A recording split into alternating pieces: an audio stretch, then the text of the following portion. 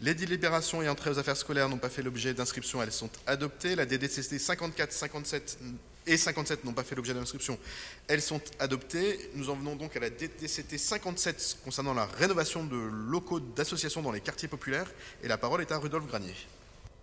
Sans doute une erreur de ma part, j'avais proposé une inscription sur la DTCT 56. Eh bien, allez-y. Alors, elle n'est pas encore adoptée. Très, donc, euh, très, 56. euh, elle était dans l'ordre, non? Oui, oui. pense. Non, non, mais c'est. euh, Non, non, mais très rapidement, puisque nous votons pour. Donc finalement, le vote, le vote précédent ne, ne changera pas, mais simplement pour vous dire que, euh, pour une fois, nous avons euh, euh, constaté que notre discours porte, puisque cette délibération ne propose que des nouveaux projets, qui, potentiellement seraient euh, euh, mieux que les anciens. Et donc, on n'est pas dans une reconduction tacite, sans évaluation. Et euh, nous, avons, regardé les 27 500 euros, si je ne me trompe pas, qui concernent le 18e, euh, le 18e arrondissement. Et les associations paraissent proposer des choses un peu plus engageantes et plus à même de, de répondre aux problématiques des différents quartiers auxquels elles s'adressent. Donc nous voterons favorablement à la DCT 56. 57 dans la foulée? Bah non, on va laisser Maya Akari répondre Ah, pardon, sur la DDCT 56.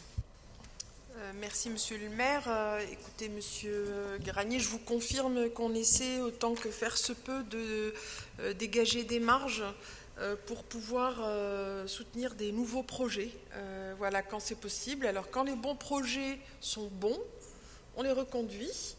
Et puis parfois il y a des projets euh, qui ne sont pas très performants, qui n'ont pas retrouvé leur public, etc. On ne les reconduit pas et c'est ce qui nous permet euh, de dégager un peu de sous pour soutenir des nouveaux projets, ce qui est le cas euh, pour cette délibération. Merci beaucoup. Je mets donc aux voix la DDCT 56 qui est pour, qui est unanimité. Et on en vient à la DDCT 57. La parole est à Rudolf Granier. ça ne pouvait pas durer en fait, puisque la 57, là par contre, euh, il n'y a pas grand-chose qui, convient. Les, sommes sont très importantes, c'est 1 330 000 pour le 18e arrondissement. C'est un soutien qui est très trop important et qui manque de clarté sur les descriptions que nous avons, euh, euh, que nous avons et de la connaissance que, que, nous avons aussi de- des actions de, ces associations. Ne serait-ce que deux exemples. Il- la, section amortissement pardon, sur la demande qui est faite par euh, euh, l'association euh, euh, Quartier Lutte pour des vélos cargo est inexistante. Or, ce sont des biens qui nécessitent d'être amortis, qui coûtent très cher. Je, crois que vous leur, vous la subventionnez de l'ordre de 40 000 euros. Et rien n'est mentionné de, ce côté-là. Idem pour la forte pérennisation qui est proposée au 72 Riquet, qui, déjà voit Shakiraï se, euh, se, se pérenniser, comme, je le disais. Nous avons eu en débattre avec Karine Roland, puisque ça doit être l'objet d'une installation d'une brigade de sapeurs-pompiers, eu égard à la densification humaine euh, euh, dont souffre ce, quartier. Et j'y vois comme euh, la volonté de ne pas répondre à cette, euh, à cette demande première. De plus, on ne voit aucune analyse des résultats obtenus par ces euh, intervenants associatifs sur les actions qui ont été menées, puisque là, on est dans la, dans la pérennisation de, de- de beaucoup d'associations pour un montant qui nous paraît beaucoup trop important. Dans le doute, nous nous abstiendrons. Je vous remercie. Merci Maya.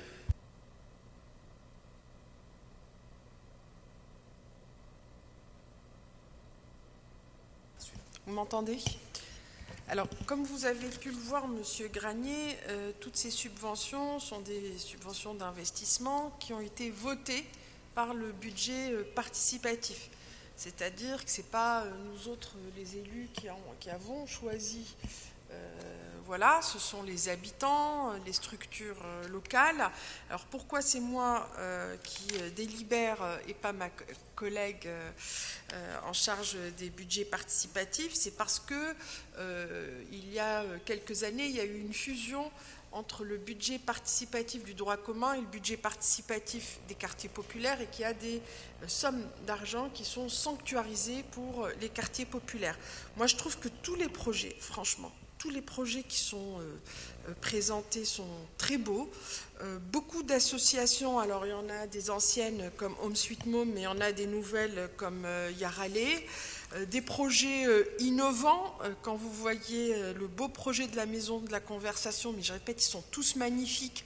Alors on a la créativité dont a fait, preuve cette association. Alors après, la rue aux enfants, la rue aux écoles, les écouteurs de rue à la goutte d'or, on va avoir la rue de la conversation euh, à la porte Montmartre.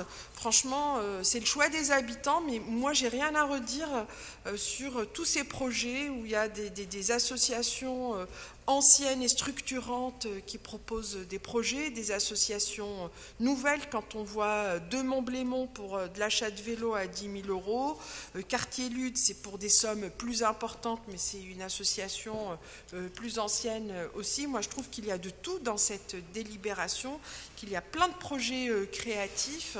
Et en tout cas, je ne peux dire personnellement que bravo à toutes ces structures et bravo pour leur action au service des habitantes et des habitants. Merci beaucoup Maya Akari. Je vais donc mettre aux voix la DDCT 57 qui est pour, qui est contre, qui s'abstient. Elle est adoptée.